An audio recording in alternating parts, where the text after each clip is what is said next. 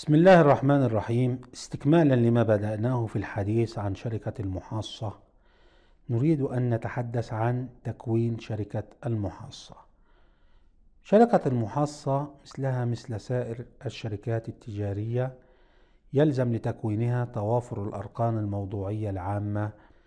كذلك يشترط لتكوين شركة المحاصة أن يكون الأركان الموضوعية الخاصة لكن لا يجوز في شركة المحاصة الشروط الشكلية. فلا يلزم فلا يلزم توافر الشروط الشكلية في عقد شركة المحاصة. فلا يلزم كتابة عقدها ولا يجوز شهر عقدها لئلا تفقد صفة الاستصدار لذلك استثنى نظام الشركات شركة المحاصة من الكتابة والإشهار. ويجوز إثبات شركة المحاصة بجميع طرق الإثبات بما في ذلك البينة. نريد أن نتحدث في الجزئية التالية عن نشاط الشركة وكيفية إدارة شركة المحاصة. فكيف يتم تتم إدارة شركة المحاصة؟ بما أن شركة المحاصة ليس لها شخصية معنوية أو شخصية اعتبارية وبناء على ذلك لا يكت... لا يكون للشركة ذمة مالية مستقلة عن ذمم الشركاء. فكيف فما العمل بالنسبة للحصص التي سوف يقدمها الشركاء في الشركة؟ من المعلوم أنه في الأحوال العادية أو في الشركات الأخرى تنتقل الأموال أو الحصص التي يقدمها الشركاء من ذمة الشركاء وتدخل في الذمة المالية للشركة. وبما أن شركة المحصة ليس لها شخصية اعتبارية فبناء عليه ليس لها ذمة مالية. فأين تذهب هذه الأموال أو الحصص التي يقدمها الشركاء؟ للإجابة على هذا السؤال لا يخرج الأمر عن أحد أربع طرق. الطريقة الأولى أن يحتفظ كل شريك بملكية حصته ويقوم باستثمارها وفقا للغرض الذي تكونت من أجله الشركة. ثم يشترك مع باقي الشركاء الآخرين في اقتسام الأرباح والخسائر. أما الفرضية الثانية أن يحتفظ كل شريك بملكية حصته على أن يعهد إلى أحد الشركاء باستثمارها ويحق لمالك الحصة العينية المعينة بالذات استردادها من تفليسة الشريك الحائز لها بعد أداء نصيبه من الخسائر.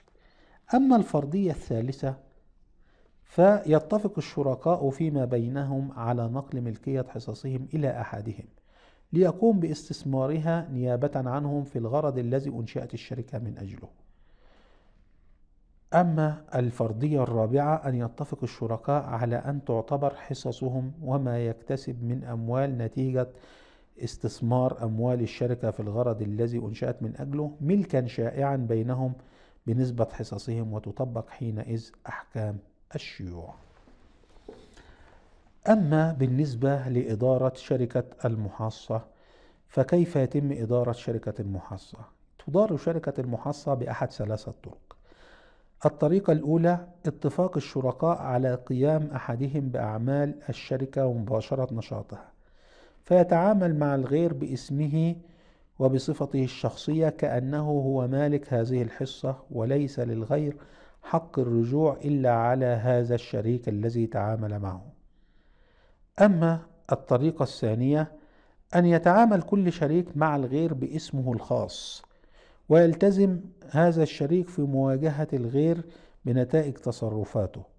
ويعتبر الشريك الذي تعامل مع الغير وكيلا في علاقته بباقي الشركاء. أما الطريقة الثالثة هي اشتراك جميع الشركاء في الأعمال التي تتم لحساب الشركة فتكون الأعمال بأسمائهم جميعا ويلتزمون أمام الغير على وجه التضامن متى كان غرض الشركة تجاريا طبقا لقاعدة افتراض التضامن في المسائل التجارية. وفي العلاقة ما بين الشركاء بعضهم البعض تكون علاقة شراكة يتم فيها تنفيذ عقد الشراكة المتفق عليه فيما بين الشركاء.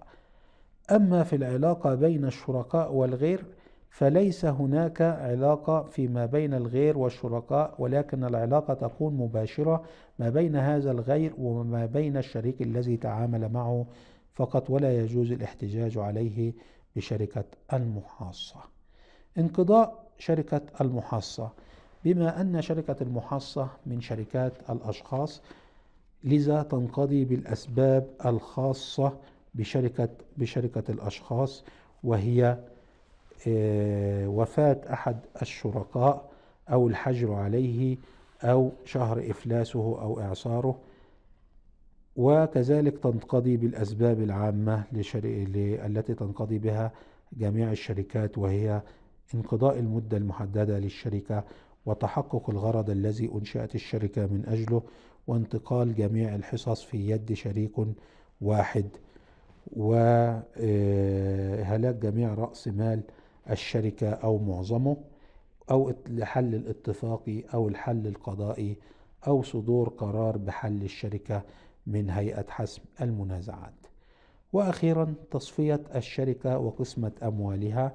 تخضع تصفية الشركة وقسمة أموالها لنفس إجراءات التصفية التي تحدثنا عنها في حين الحديث عن تصفية شركة التضامن وقسمة أموالها فيقوم الشركاء بتعيين مصفي أو يقوم القضاء بتعيينه عند الاختلاف ويعزل بنفس طريقة تعيينه ويتم سداد ديون الشركة وتصفية موجوداتها واستيفاء ديونها لدى الغير ثم بعد ذلك يتم قسمة الأموال بحسب ما تم الاتفاق عليه فإن لم يكن هناك اتفاق فيما بين الشركاء على كيفية توزيع الأرباح والخسائر فتكون قسمة الأرباح والخسائر بحسب المشاركة في رأس المال. وإذا كان هناك اتفاق على كيفية توزيع الأرباح والسكوت عن الخسائر فيتحمل في الخسائر بنصف نسب بنفس نسبة المشاركة في الأرباح. كذلك إذا كان هناك اتفاق على كيفية التحمل في الخسائر وسكت عن كيفية توزيع الأرباح فيكون الاستفادة من الأرباح بنفس طريقة التحمل في هذا هو القدر الذي يمكن أن نتحدث فيه عن شركة المحاصة.